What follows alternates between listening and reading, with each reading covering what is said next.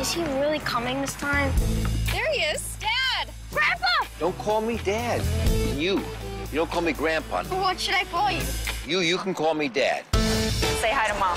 Well, why don't you join us? I can't stay. Well, maybe I can stay for a couple minutes. You're dating a woman because of her father's connection. Your new dealership on track. It's fantastic.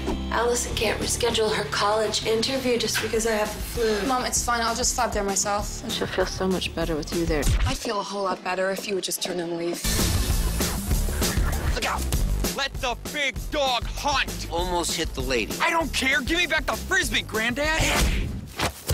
Smooth. You always said you'd never come back. Yeah. And now you're here. I thought you said you were gonna let me do whatever I want. You go ahead. I need another drink. None of the guys I've been with really know what they're doing. You just have to take control of the situation.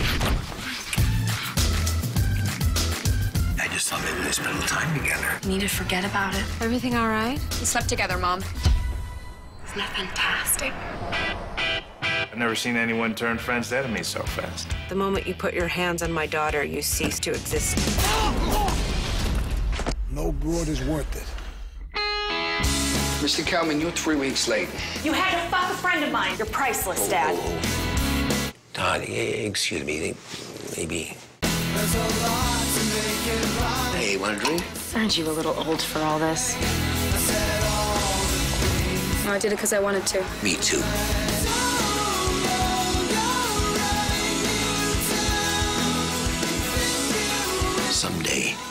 My age. You do not want to regret a night like this. I know that's why I'm going to study.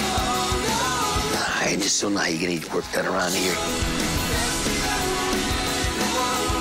You must have been a hell of a car salesman.